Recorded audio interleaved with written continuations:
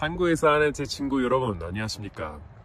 아, 이번 주말은 우리가 노동절이 있어서 뭐 빨강 날이어서 저하고 우리 하- 가족이 함께 세인트 조지라는 도시에 내려가서 산에서 등산도 하고 수영도 하고 맛있는 음식을 많이 먹었어요. 진짜 아주 재밌는 시간이었네요. 아, 오늘 제가 여러분들이랑 함께 드론하고자 하는 게 댓글로 아, 이번에는 누가 미국 대선을 이길 것인가에 대해서 함께 토론하고자 합니다. 아, 여러분들이 어떻게 스- 생각하시나요? 이번에는 트럼프가 이길까 아니면 바이든 대통령이 다시 이길까요?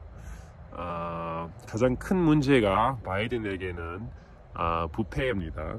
그의 가문이 아, 헌터 바이든의 lap 지옥에서 온 laptop을 보면 이상한 사진도 많고 마약 문제도 나와 있고 아 근데 무엇보다는 아, 우크라이나 브리스모 회사에게서 100만 불의 돈을 받았다는 게 아, 미국 사람들이 그것을 보고 아주 싫어하는 것이라서 국가 어, 탄핵 어, 조사 중입니다. 그 같은 이유 때문에 아, 정치인들이 근데 제가 모르겠는 게 왜 정치인들이랑 변호사들이 국가를 관리하고 있는가요?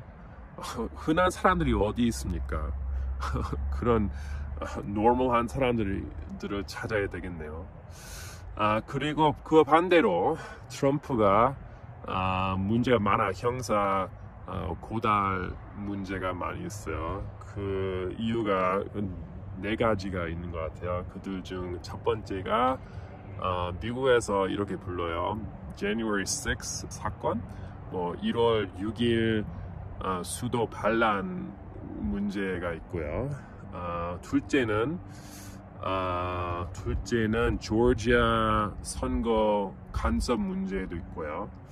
셋째는 스토미 데니얼스 아, 야동 미국 배우자가 입막음 돈을 받았다는 게 뭐 10만 불쯤 그리고 마지막으로 기밀 문서가 트럼프 대통령의 어, 마리라고 집에 어, 이렇게 간직한다는 것도 문제라고 볼 수 있습니다. 그런데 이렇게 트럼프와 바이든 대통령이 어, 집이어서 어, 토론하게 된다면 제 생각에 아마 트럼프가 이길 것 같아요.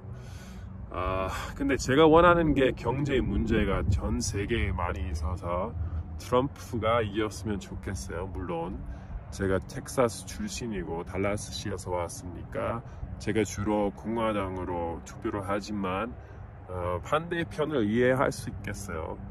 아, 민주주의를 이렇게 믿고 있는 사람들이 어, 좋은 아이디어가 많고 아, 잘 모르겠네요. 인종차별 문제가 언론에 많이 나와 있지 않아서 이번에는 트럼프가 아마 이길 것 같아요. 아, 어떻게 생각하시나요? 그리고 무엇보다도 제가 여러분들의 한, 한반도 정치에 대해서도 알고 싶어요. 윤 대통령에 대해서 제가 많이 모르고 있고, 아, 더 많이 배우고 싶어요. 좋은 하루 되시고, 아, 우리나라를 통해서 기도해 주십시오. Have a good day. 좋은 하루 되세요.